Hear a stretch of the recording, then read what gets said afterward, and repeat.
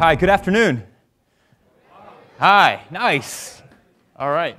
We're at the end of the day. Thank you guys very much for coming. I'm so happy to be here. It's my first time in Lisbon, and it's a gorgeous city, and it's a terrific event, so thank you, Bruno. Um, what I want to talk about today is this idea of lean UX, and uh, I'm going to illustrate it right away with a couple of, of tactics that I put in play this year with a couple of teams that I've worked on, and then we'll get into the specifics of, of what lean UX is and, and this, this idea of shared understanding, and so we'll talk a little bit about that. And then we'll, I'll, I'll give you some very specific tactics, five specific tactics that you can take back to work when you go back to work on Monday if you like these ideas and implement them right away and see how they work for your teams. And then we'll dig into a little bit of specific situations where Lean UX works well and where it doesn't work well, and then we'll wrap up. Sound good? Okay, awesome. So uh, earlier this year, I was working with a startup in New York City, and this was a really interesting situation. It's a relatively small team, but all the UX and the product management resources were in New York, and all the development resources were in Vancouver, Canada. So that's about 3,000 miles away and about three hours times difference. And there was no communication going on between these two teams that was outside of email or signed off documentation. So the UX and the product management teams in New York would design things and write them up and spec out everything and then ship it over to Vancouver and they'd look at it and they'd build something and they'd ship it back and the UX and product management teams would look at it and say, nah, that's not what we wanted. And they'd volley back and forth like this over email and signed documentation. For years, they did this. And so when I, when I started working with this team earlier this year, I said, here's what we're going to do with the next problem statement that we have to solve for our customers and for our business. We're going to design together. We're going to solve the problem together. And they said, how are we going to do this? The team's in Vancouver. We don't talk to them that much. We're in New York. And we did this over Skype. And this is an image of it. This is what it looked like. We set up two conference rooms with Skype. Everyone gets it. It's free. Everyone uses it. The teams in Vancouver got in one room. The team in New York got into another room we looked at the problem statement and we sketched ideas to solve the problem together. We facilitated a design studio, essentially, a collaborative design session across coasts in the United States over Skype. And we took photos, iPhone photos, of the sketches and emailed them around. So if you couldn't see, initially we tried to hold up the sketches to the camera, but you couldn't see it that well. So we took photos with the iPhone and sent it around. And you could see what each other sketched. And the team started to talk and work together to solve this problem. And the energy and the enthusiasm and the collaboration between the teams increased exponentially. And the final product that came out of that project was far more successful and far more productive and efficient than anything those that team had created to date together. That was one, one case study. Uh, I used to be the director of UX at a company in New York called The Ladders, which was an online job board. And one of the challenges was that we didn't have any UX presence in the boardroom, in the, in the, in the, not even the boardroom, in the corporate strategic meetings. And we wanted to bring the voice of the customer to the strategic direction setting meetings for the company. And so one suggestion said, hey, why don't we do a persona exercise? Why don't we pitch a persona research exercise to the company? We'll go out, we'll do the research, we'll come back and present our findings. Well, the problem with that is that it's expensive, it takes time, and the, the strategic meetings were happening very soon. We didn't have the time to do it. And so instead, what we did was we got all the executives together in a room for two, two days, really two half days, four hours one day, four hours the other day, and we had them create ad hoc personas. So who do they think we're actually designing for? And each executive, CEO, CFO, CTO, VP of product, everybody's in the room, and they're, they're sketching together, and they're putting out on paper, visualizing who they think we're building products and services for. And over the course of two days, we got to a level of consensus where they understood that we had roughly six personas, at least they thought they had six personas that we were designing for. And this was at least a way for them to start focusing their conversations around a particular target audience. Because what was happening in those conversations was the marketing, the VP of marketing would come in and have a very marketing centered focus. And the customer service VP would come in and have a very call center focus.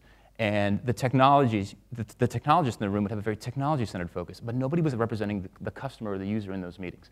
And after that, after we, we got to that consensus with the team, we knew that as, as uh, middle managers in the organization, we weren't actually going to be in all of those meetings on a regular basis. And so we made it easy for the team to take these personas that they had created and bring them into the meetings with them by creating these little playing cards for them.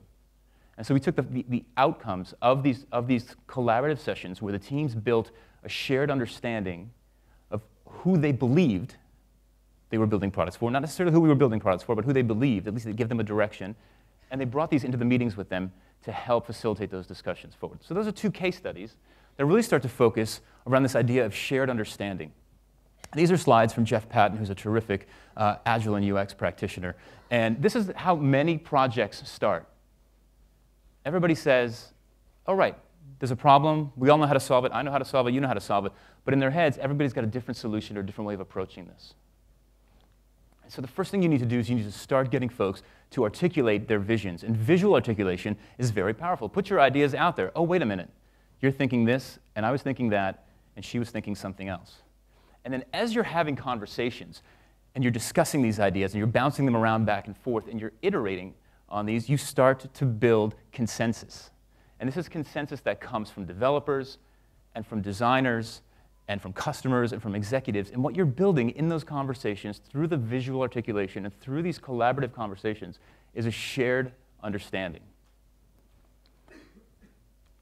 And shared understanding is the currency of Lean UX. When you build a, shared understanding with your teammates, with your stakeholders, with your customers, you can trade that for some of the UX documentation, or at least for the heft, the thickness of the UX documentation that you're used to creating today, because the teams understand more, they know where these ideas have come from, what triggered those decisions, and they don't need to be documented as heavily. And everybody can start working a bit more uh, from the same starting point together. And that's, that's what the goal of all of these activities are, is to build that shared understanding.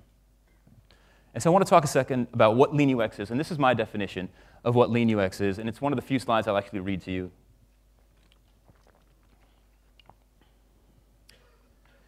This is how I define it. So Lean UX is inspired by Lean Startup, and I'll get, through, I'll get to Lean Startup in just a second for those of you not familiar, and Agile development theories. And it's the practice of bringing the true nature of design work to life faster in a collaborative, cross-functional way with less emphasis, not no emphasis, less emphasis on deliverables and a greater focus on the actual experience being designed. And there's a reason why I underline true nature and actual experience, because the true nature of, of design work is the experience, it's the product, it's the service. None of us got into this business to, to write a document or to live in an Excel spreadsheet. We got into this business to build products, services, and experiences. So the faster that we can get there, the faster we can validate that we're actually building the right things and stop building and designing things that people don't want. How many of you work in an agile culture? That's significant, nice. So agile is a, is a software development uh, methodology that was uh, written by developers for developers with no consideration for UX or design, ever. Let's be clear. However, when it's boiled down to the four points, the four main points in the Agile Manifesto, and you start looking at these things, you start thinking about how can I apply this to user experience and design, there are a lot of things that can be applied. These are the four, the four uh, bullet points of the Agile Manifesto, and we value the, the, the, the preceding statement to this is we value the things on the left more than we value the things on the right. So we value individuals and interactions over processes and tools. We like to talk to people. We're going to talk to our teams. We're going to figure out how to best work together, regardless of whether it's agile or waterfall or agile fall or whatever you want to call it. Working software over comprehensive documentation. Show me how it works. Don't tell me how it works. Let's build something, let's execute it, let's see if it works. Customer collaboration over contract negotiation. Hey, if we built the wrong thing, let's get a sense of it from our customers and not worry about the details. Let's figure out very quickly that we built the wrong thing, iterate, and start building the right thing much faster. And then finally, responding to change over following a plan. So as you're moving forward, as you're building your product, as you're learning through this customer collaboration, through these interactions, don't keep your head in the sand and think, oh, I have to get to point uh, X down there. If there's a change, it's okay to adjust course because you've learned something new and something has changed. These are agile philosophies, but they apply to design, and I'll show you how. I want to talk about Lean for a second, where this Lean UX title came from. So Lean started in the 1950s uh, in Toyota's manufacturing process in Japan. In the 1980s, uh, a couple named Tom and Mary Poppendieck brought it to software development and uh, they're legends in the agile world. If you haven't heard of them, you should absolutely read their stuff. And then recently, a gentleman named Eric Ries wrote a book called The Lean Startup, where he took these ideas and he applied lean thinking and lean thinking in software to the idea of building a business. And he created this, this build, measure, learn loop. And his thinking, his, his philosophy is build something very quickly, measure whether or not you built the right thing, learn from that, and then iterate. But cut down the time of that loop as, to as short a time as possible so the feedback loop is super tight and that you're getting these validated learnings as quickly as possible so you're heading down a more accurate path with each iteration. And what's really interesting is this, this is the core principle of the lean, of the lean startup philosophy, where he says it has a premise that every startup is a grand experiment. And you can, you can change the word startup there for product, service, design, feature, business, anything you, anything you want. It's a grand experiment. And you're not trying to answer whether or not this thing can be built. We can build pretty much anything at this point. The question that you're trying to answer is should we build this? And if we build it, will we actually make money, build a business, solve a, solve a customer need? And here's the interesting part. The way that you experiment with your ideas about should we build this is not some theoretical ivory tower scientific experiment. It's an actual product. So let's get to a product as quickly as possible with as little effort as possible, with as little waste, and then make sure that it's the right one. And if it's not, let's, let's iterate and move this thing forward. And so you take these two ideas, Agile and Lean Startup, and they're philosophies. They're not necessarily methodologies. And so you translate them into a design process, and it looks something like this. And I drew these myself, which I'm very proud of. So here, here's the process itself. You're a designer, you've been presented with a problem to solve, a problem statement, something that's, that, that you need to design a solution for. The first thing that you do is you have an idea. Okay, I think I'm going to solve it this way.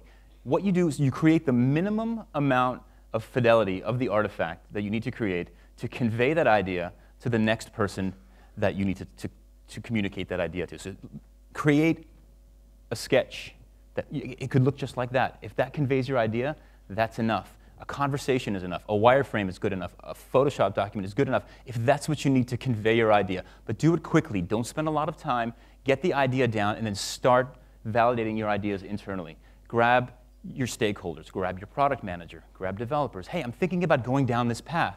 What do you guys think? Is this the right approach? Is this not the right approach? Why is it the wrong approach? Let me figure that out and then go back and iterate on that concept at that fidelity level until you start building some level of consensus with your internal teams, with your stakeholders, with your executives, and so forth. And so you're doing this very, very quickly. As soon as you have some level of consensus, get a prototype built. Again, whatever level of fidelity you can prototype, you choose to prototype, or you need to prototype. So paper's fine if you can get the feedback that you need. Axure works, Fireworks, code, whatever you need to do. Clickable PowerPoints will work if it gets your point across. And then get that in front of customers very, very quickly on a regular basis. Learn from their behavior, and then iterate on this process over and over and over. And this is not a, a three month process, this is not a six month process. This could be a day. You could do this in a day, you could do this in a week, a couple of days, as quickly as you can get through this process as many times as possible so that you keep adjusting your course to building the right thing, that you're designing the right thing. And if you don't work in an agile environment and you do have a design phase, you know, in the traditional waterfall uh, cycle, this could be just your UX process, and that's okay. Instead, instead of disappearing for a week or a month behind your monitor when, you've been, when, when the design phase has kicked off, sketch something and then go grab a developer and say, hey, I think, I think I'm going to design it this way. What do you think? Let's get some feedback on that. And bring them into the design process. Start building that shared understanding. Start building that collaboration because what you'll find is when you get to a point where it's ready to actually go to code, the people that you've been talking to this whole time, they know what you're building. They know what you're designing and the documentation that you need to create decreases significantly. It's more shared understanding, less documentation. I'm a child of the 80s, and I don't know if you guys know this movie. This is a movie called Better Off Dead. It was a big hit in the US in the 1980s. Uh, who knows this movie?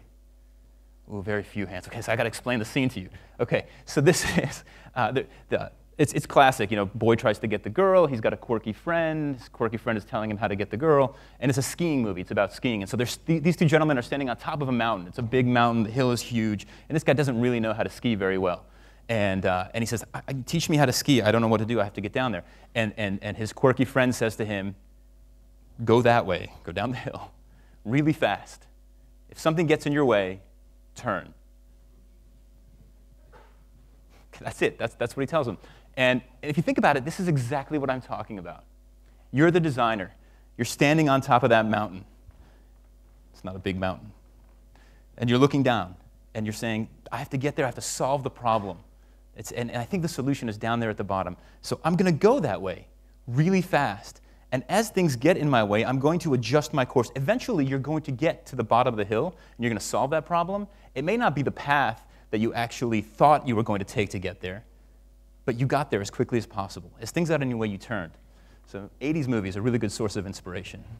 Uh, for this. If you think about, think about it this way, okay, the traditional UX processes, the deliverables, the sign-offs, the, the, the iterations are a bottleneck in fast-paced environments with so much innovation and so much disruption happening in the marketplace today. Waiting to start building something until a design has been signed off by the 10 different people who need to sign it off so no one gets fired in case it fails is too late. We're getting in our own way. And the products and the services and the context in which we have to design are getting so much more complex and so much more challenging that the design documentation itself, the paper itself, can't convey these experiences.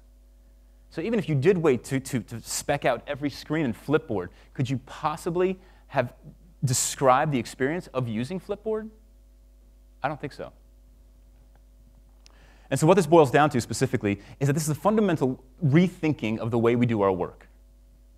It's, it's a shift in saying, instead of working on our own, and solving the problem and then coming in and saying, here it is, it's shiny, it's beautiful, please go build this. And then, of course, 50% of that gets built and then the rest doesn't, right?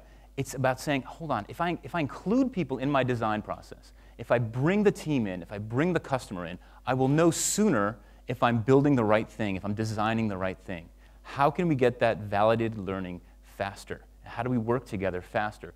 And then let's bring people into the design process. And here's the catch, and this is, this is key, this is a critical thing. This is a designer led initiative.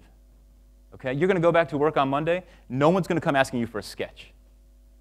No one's going to come asking you to show them the next thing that you jot down. You have to get out from behind your monitor and show them this work and help them understand where you're headed and start to build that shared understanding and do whatever it takes to get your work out there in public.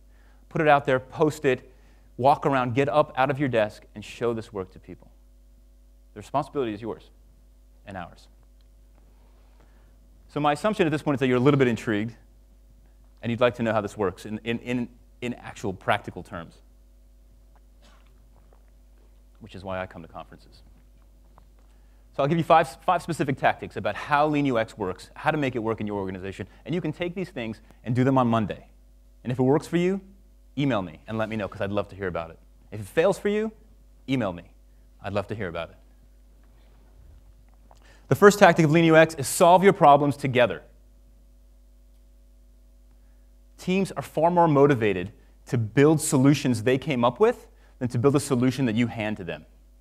Give a cross functional team a problem to solve. Let them solve it, let them come up with their solution, and then let them build it. It'll be, they'll be far more productive, far more efficient, and far more enthusiastic to actually build that. Plus, it starts to build, it starts, they start to understand each other. They start to know where everybody's coming from, and they build that shared understanding. I'm going to say that phrase a lot if I haven't already.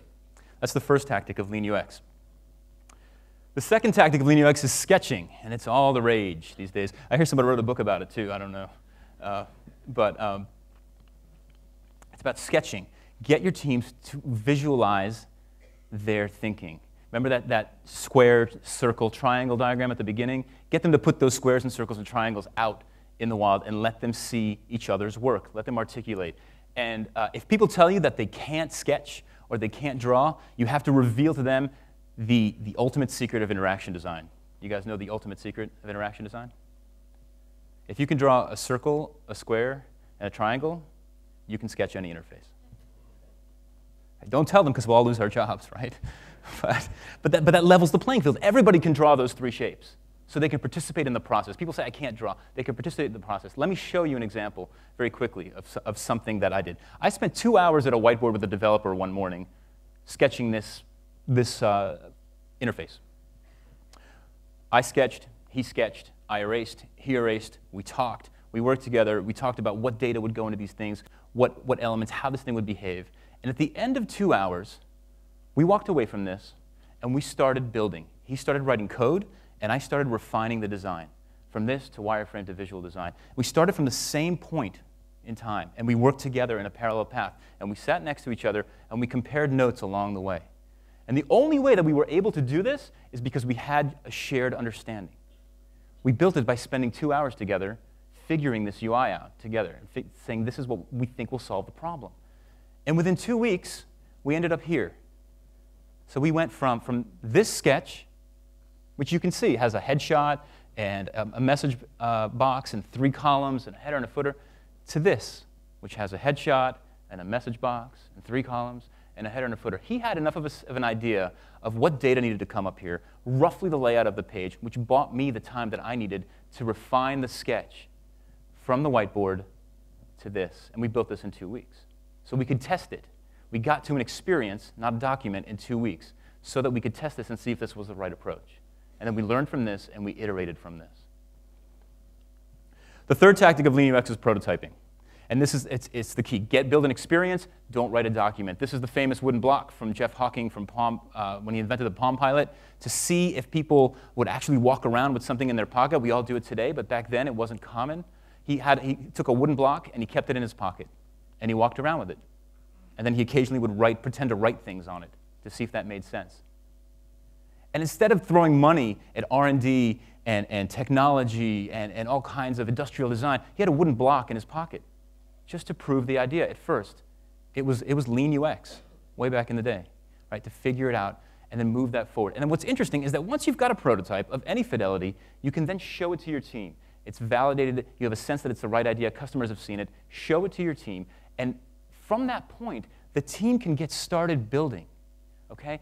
No additional deliverables are needed for them to start working. There may be more deliverables needed further down the line, but to get everybody started at that pace, if they need to know what happens when they click a button, you click the button in the prototype. If they need to know what happens on the next page, you go to the next page, you swipe through. But everybody can at least get started and working and continue that conversation. The fourth tactic of Lean UX is pairing up. That's it? Come on, it's funny. I think it's funny. Uh, uh, Samuel Bowles gave a great talk yesterday. I hope, hope some of you guys caught it about uh, designer pairing, pairing designers together, and the benefits that come out of that. What I want to talk about today is, is pairing designers and developers together. Now, the way we did this when I was at the Ladders was to put together a, a designer and developer, and they sat next to each other, and they worked in Firebug. You guys know Firebug? It's, uh, it's, a, it's a plugin for, uh, for Firefox that allows you to manipulate the JavaScript, the HTML, the CSS in real time. Every browser can do this. And what they would do is they would sit together and they'd manipulate the design in real time. And at the end of that process, whether it took an hour or two hours, they had code, working code, not a document that described an experience, not a picture that would then become a document that would then become an experience. They had code. Tremendously efficient. There's a couple other benefits that come from this. The first is that because they're sitting next to each other, they start to see how each other work. And they start to understand the needs of each other. So the developer sees, oh, wow, a lot of these, these difficult things go into every design decision.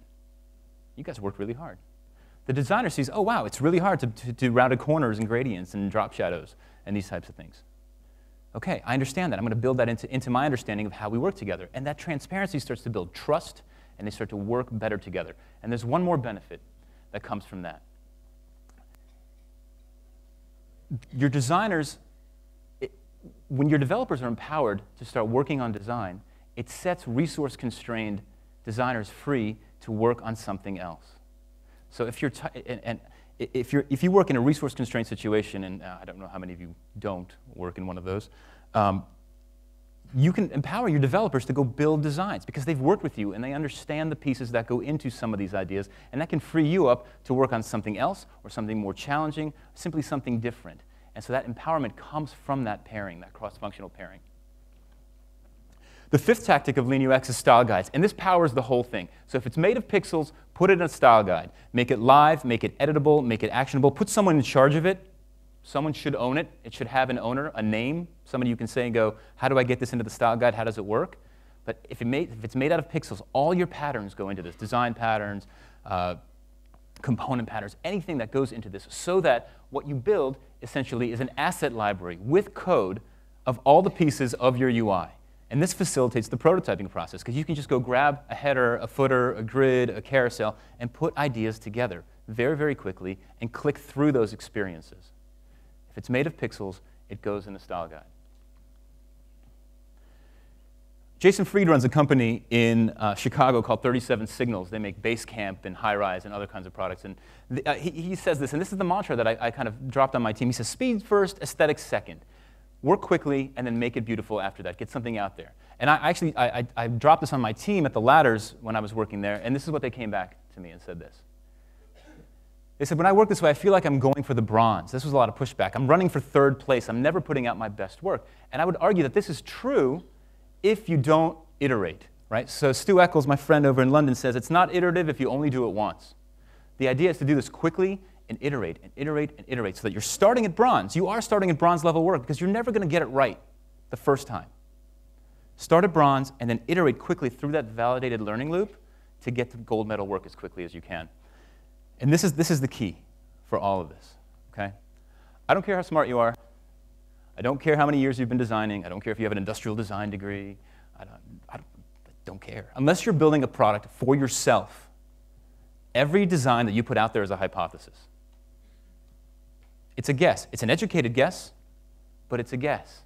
And so your job is then to validate or invalidate that hypothesis as quickly as possible so you're not designing something that somebody doesn't want because that's waste and we want to get that out of the way. Every design is a hypothesis. And you start to validate that with customer insight every week. It should not be some event in the future. Hey, in six months, we're going to see 24 customers for three days and we're going to get some feedback. Have your customers in every week. We tested every Thursday, three people. Three people every Thursday. It was a regular conversation that we had with our customers. And we always showed them whatever we had ready. And that provided us a steady stream of qualitative insight into the designs that we were working on at the time. Supplement that qualitative insight with quantitative insight. Put your designs and your ideas into split testing platforms, A B testing platforms, and bring in the quantitative data. And make this an ongoing thing so you always have access to data to support the decisions and decide why the red button is better than the blue button, or why should you put it up here or down here. And ultimately, form factor doesn't matter at all. I hear a lot of complaints, well, we can't do it on mobile, or it's really hard, we're working on hardware. Uh, it doesn't matter. Let me show you something. This is, uh, you guys know meetup.com? You know that site? They're in New York. Uh, this is their mobile testing rig. It cost them $28 to build. It's made up of a stand, a lamp, a webcam, and that black thing in the middle, it's a paint stir. It's a paint stick you buy at the hardware store to stir the paint. Okay, it's a piece of wood. 28 bucks. Instead of waiting around and trying to get approval for a mobile testing rig or figuring out what to do, they went out, they built this thing, and they started getting feedback. It may not be the best feedback, but it's better than nothing.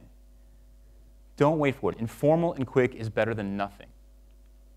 And then at the end, if you, once you've made your decisions and you've validated your learnings and you're building something that somebody actually wants, and then you need to document, go ahead and document. My friend, my friend Lane Halley likes to say, lead with conversation and trail with documentation. Write the document at the end when you've made all your decisions and you don't need to rewrite it again. If, if your company needs it, if somebody, deserve, if somebody demands it, that's fine. Do it when you're done. Because the goal, again, is to get everybody started and going together at the same time, working together in a parallel path. Get your teams working together on the same problems. And so by waiting for a document, you're staggering that. You're saying, I have to write this document and get it approved, and then you can start, and then we can kind of leapfrog this thing and move it forward. Get everybody working together. Two quick notes of what Lean UX is not. Okay, two, two really quick things. The first thing is, uh, click. Lean UX is not lazy. Okay, sorry. It's not less work. In fact, it's probably more work. Okay, you're going to have to get out there and talk to folks specifically. And I love this quote. Uh, Austin Govella, who lives in Texas in the United States, said this about Lean UX. He said, The best part is that the team is doing a whole lot of UX, right? They document a ton of stuff explicitly on the walls, so that's the, that's the whiteboards and the sketches and implicitly in shared understanding among team members. So this is active. You're actively going out there and you're working harder and you're talking to folks. You're taking the arsenal of UX tools and you're just deploying it at the right depth at the right time. You're not using everything all at once, all the time. The second thing Lean UX is not is designed by committee. And this is critical. You're going to collect all this insight from customers, from product managers, from developers, and you're going to bring all that insight, you're going to synthesize it, and you're going to iterate on your design. And when you come out and you show the next iteration of the design to your team, you have to tell them why you made those decisions. Well, I chose this feedback because it was validated by customers, and I chose and I discarded this feedback because we saw this didn't test well, and whatever it is. But you have to have that communication back out so people feel like they're part of the process and that you're not ignoring their feedback. You have to communicate that back out to them. And so, a couple thoughts about where Lean UX works well and where uh, it'll struggle. So, if you're uh, an in-house designer, if you're an house designer uh, at a company and you don't feel like you can move your organization as a whole, start small, start internal, grab a developer, show them a sketch, start working together, and ask for forgiveness later. What happens is people start to be jealous of the way you're working, and they're looking in, they're saying, I want to work that way too. I've seen this happen in organizations, specifically when, when, when teams start to collaborate. People want into that energy. There's a vibe and a creativity and efficiency in that team that reinvigorates the organization. Because what you're ultimately doing is you're solving business problems, and you're not writing documentation. You're solving business problems with software. If you work in a startup, this is the only way to work. Lean UX is the only way to work in a startup. Collaborate together, work quickly, talk to your teams, and iterate because you're going to run out of money. And then you'll have nothing to build, and you'll be broke. If you work in the agency world, it's a little bit of a tougher sell, and it's, it's because primarily of the agency's business model, and this is, this is the key thing about agencies. Agencies are in the deliverables business. Agencies sell, the majority of them sell output, not outcomes. They sell documentation specifically. And so th there's a fundamental shift in the business model of an agency to make this actually work. So this was the in-house Lean UX model. And if you look at it a bit from the, uh,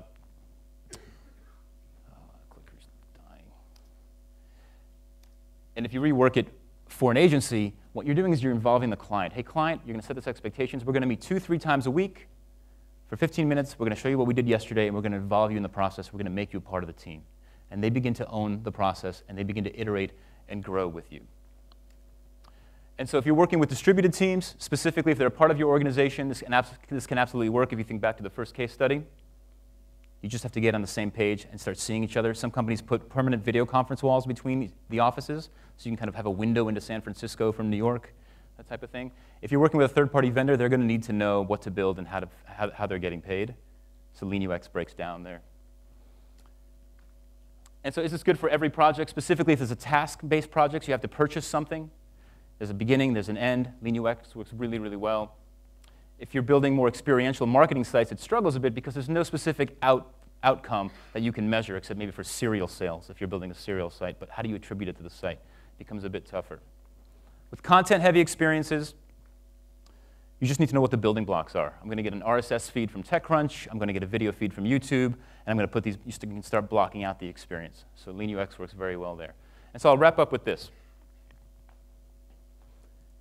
Designers are used to being heroes. We like to come in and be given a very difficult problem, solve it, make something beautiful, hand it off. Everybody goes, ooh and ah. My favorite new phrase in this is ta-da design, right? Ta-da, right? Lean UX is distinctly anti-hero. It's a collaborative, team-based process that allows everybody into the design process. And here's the kicker. When you let people into the design process, they start to see what design thinking means, and it creates empathy in these three different spaces. It creates empathy for the customer, where perhaps there was none before. Maybe your developers never thought about the customer. Maybe the marketing people never thought about the customer, right? They start to understand it. It creates empathy for the problem space. Why are we building this, right? I, have talked to so many developers and so many organizations who have no idea why they're actually building a feature. There's empathy for that. And it creates empathy for the design discipline. People see that it's hard to be a designer and all the decisions that go into, into everything that we do. And Lean UX brings that to a broader audience. And look, ultimately, this is an evolution, not a revolution. The markets are changing, companies are changing, the demands on UX design as a profession are changing. We need to evolve with it, and Lean UX is the next step. Thank you guys very much.